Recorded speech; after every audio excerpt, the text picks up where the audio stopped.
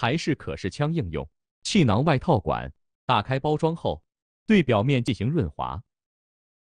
使用注射器，接好后端抽取空气，前端空气抽空，外阴拨开斜着向上插，再平着向里推，推到底。使用注射器，抽取空气后，连接注入。注入到前端小球膨胀为止。通过通道插入可视设备，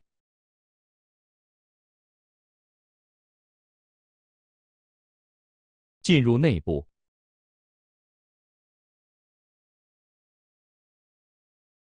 调整角度，调整枪的方向，找到子宫颈口，取输精针，输精针插入枪的后方通道。插到底后，调整方向，插入子宫内部，进入到子宫后，将精液与输精针相连接，缓慢注入，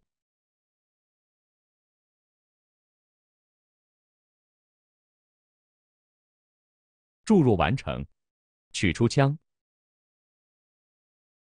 取注射器。连接抽取空气，